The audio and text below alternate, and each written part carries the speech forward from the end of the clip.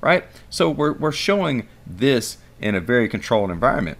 Again, similar to what we just did on the Kali Linux, um, where we're showing the, again, kind of a different example, but again, when it comes down to it, you you see how much they vary, right? You see, well, you see how much they're they're very very close together. Not very, but they're very much close together.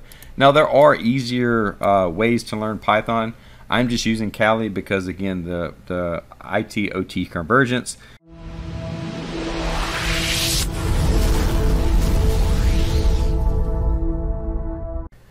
Okay, so I want to talk about what are the common languages inside of PLC programming. Okay, so there's obviously going to be structured text, there's going to be ladder logic, which are the two most common, and then you're going to have function block and sequential function chart, which are there for processes and stuff like that, and largely function blocks used for drive controls and mainly for like different loops and stuff like that. So uh, when it comes down to what are the what is the best one to learn?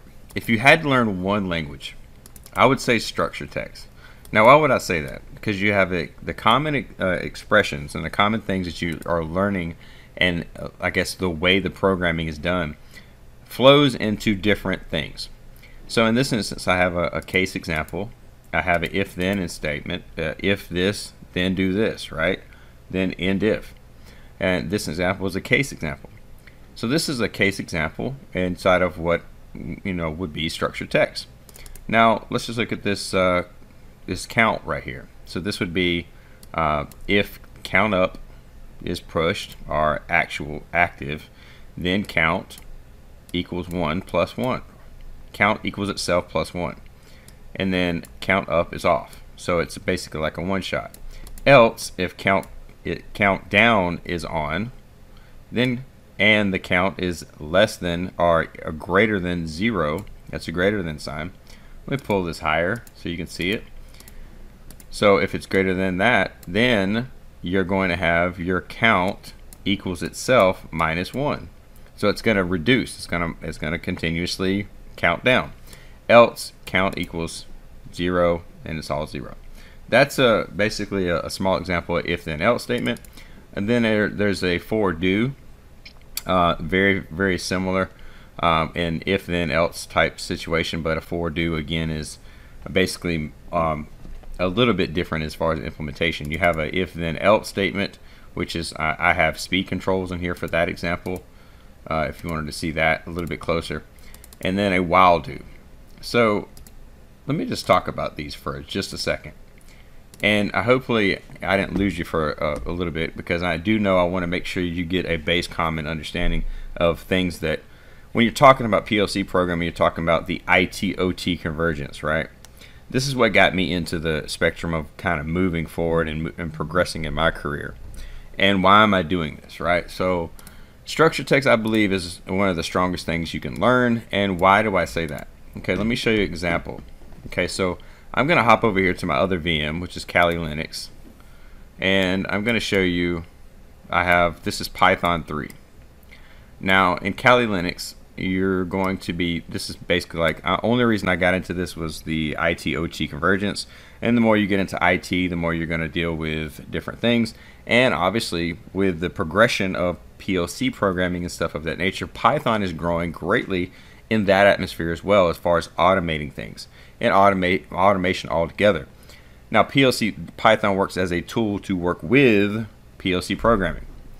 Let me show you an example of one running real quick. I'm just going to call up Python 3 and then I'll call up loop. Okay, and it's very important that you have your spelling right on this. So I'm going to call it loop uh, PI, PY right here. So I'm going to call it up and it's going to run the loop, right? Now, again, when it comes down to it, I can open this up and show you the code behind it. And you're probably going to be wondering to yourself that it looks awful much, it looks pretty much just like the same. If I looked at an if then else statement, right? So let's actually, I tell you what, let's actually build one in here so I can show you how closely these are done. So I'm going to clear this off uh, and make sure that I type my clear in right. I'm gonna clear this off. Let's build another one. So I'm gonna I'm gonna do sudo, then I'm gonna call gedit, and then I'll just call this uh, while. Uh, we'll call it while. Dot .py. So I'm going to create a file. It's going to ask me for my password. Okay.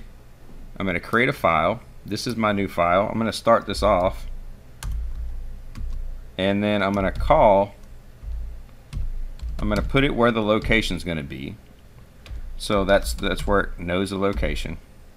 Then I'm going to put while example just as a comment. And I'm just why am I showing this? I'm showing this as an example of why you would learn structured text as greatly as you would because it transitions so easy to different things. This is Python. But again, when it comes onto it, this is Python in Kali Linux. So there's Python in different environments. And there's also, uh, this works greatly with JavaScript as well. So you maybe want to uh, do a career shift later in life. You may want to venture into different things and you may your career may shift in just like mine did into the IT OT convergence. Okay, so let's talk about this. So if I say x is equal to, uh, let's just say 5 in the example. Okay, so I'm first declaring the variable x. Okay, I'm declaring that variable. Now, next, I'm going to come in and I'm going to say, okay, well, let's do while x is let's just say less than 10 what we want to do is we want to come in and we want to have uh, we want to print x.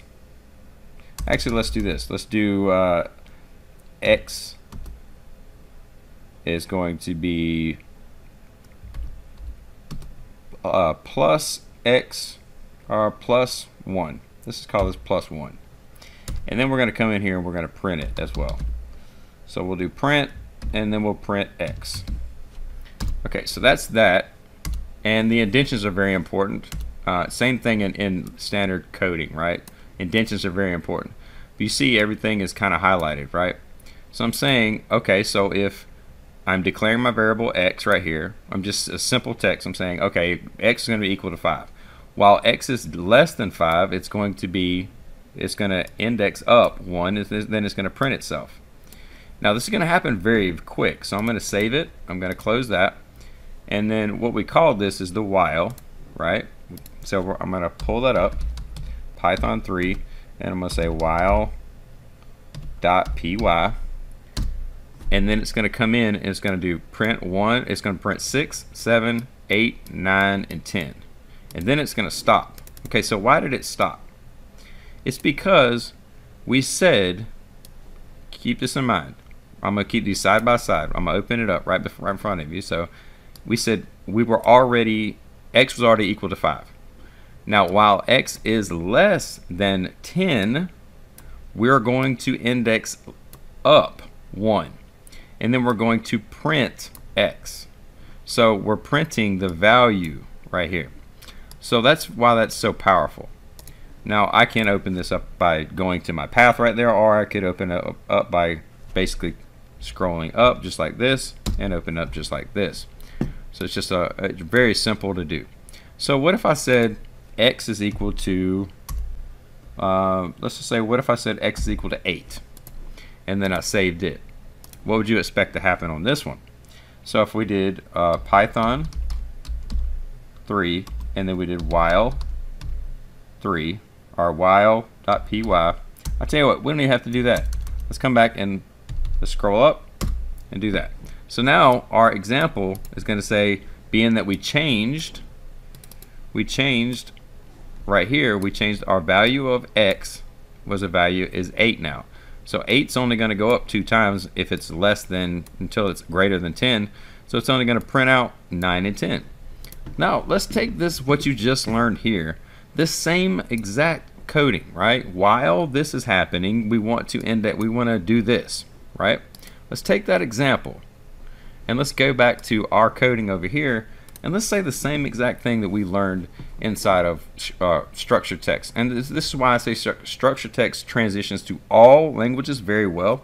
In PLC programming, you have two common main uh, implementations that you would actually I guess, learn and uh, main, main two two main main manufacturers that are going to stand out to you. Either Rockwell, which is what we have here, which is Logix Designer, Uh, this is version 30, I think it's 32, 30, yeah, 32 in this environment. And we we're going to have Siemens, which could be at uh, step seven. Uh, all of them are going to use three different or four different languages. Again, those languages are ladder logic, structured text, function block, and sequential function chart. Why do I say fun- or structured text transitions best? Is because you're going to use it in, in every bit of programming. Uh, look, com- computer computer programming, all hands down, a one is a, uh, a zero is a, is a basically a zero and a one is a one. So it's basically a binary concept, and if you understand that, you, you understand the way you control things is while, let's just say for in in this instance, the increase button and the and the enable, right? So the increase button and the enable, you do this, right?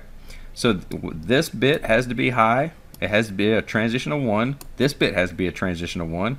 Then we're going to do this. We're going to say the speed command is equal to itself plus one. So while the, the speed button or the increase button is being held on, we want to come in here and index the speed up by one each time. And then we want to exit that loop. Now the syntax is a little bit different, but the same concept flows throughout right? Whether I was in the Python example that I showed you or in this example of structured text that I'm showing you right now. The example is exactly basically the same. If this happens, do this. While this is, is happening, do this. But you also have to understand the logic behind the protection and protect the protection agents that you have. In this protection agents, I just just so happen to have an if statement. So I'm protecting this statement up here I'm having it said, okay, by the way, I'm saying if the if the speed command is less than or is uh yeah greater than zero, and this actually then in this environment is less than zero, then I want to turn in and turn the speed command on to zero. So I'm saying don't go less than zero. If you're less than zero, make sure you stay at zero. In this environment, I'm saying okay, well, and this protecting protecting agents right here are protecting the environment. This little section of code, I'm saying if the speed is greater than 100, because we won't we don't want it to go up greater than 100 in in the code that I've written, we're saying force it the speed command to 100. So we're saying, oh by the way, don't let the system go any any lower than zero or any higher than 100. But oh by the way, also too, if these controls happen, go ahead, if you're within the 0 and 100, go ahead and do your function. Go ahead and go up or down based upon what's being impressed, right? So we're, we're showing this in a very controlled environment.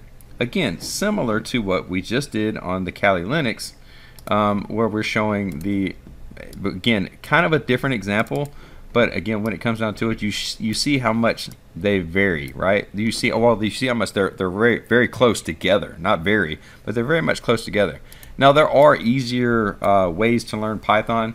I'm just using Kali because again, the the IT OT convergence and the penetration testing and stuff like that. I'm trying to learn that myself, and when I'm learning that, I'm trying to actually express that. I feel like if you can teach it, you can learn it um, and better yourself. So when it comes down to it, you also help other people. So this is why I'm trying to trying to actually express this and show what I'm seeing related the most is structured text is the code that transitions easily from PLC programming to to Python programming to going to be implemented into like JavaScript for that instance. If you can understand a logical uh, control statement, you can you can understand transitioning to another statement and reading that. VBA code for that instance does that as well. Um, so I'm giving you common things that are, are very powerful. And I think the, the, the com most common thing that I see is powerful from language to language to code to code or from function to function is going to be the actual structure text. Uh, again, that, come, that comes down to basically just my experience and it, when it comes down to you may have different experiences right and you may see this later in life you may see this later and see that, that python really took off or maybe javascript did a did this thing or maybe but you're going to see things transition into your job that are going to change your way of thinking right? So that when that happens it's up to us to learn and to share and to grow together and i just think this is this is a very powerful tool. So hopefully that was uh, educational and it helped you understand what, at least from my experiences, sharing it to you, what the benefits are of, well, the, the strongest languages that we have, right? The common languages of uh, ladder logic, function block, sequential function, and structured text. Structured text to me is going to be the language that really transitions every, to everywhere and is going to be more helpful to you at this point in time. Now, again, that could change but I don't see that changing. I see that being a foundational element. And a lot of people in programming would prob- probably agree with that, right? When it comes down to that. So hopefully this was a very valuable video and helped you learn and grow from that. And uh, we'll see you guys on the next one.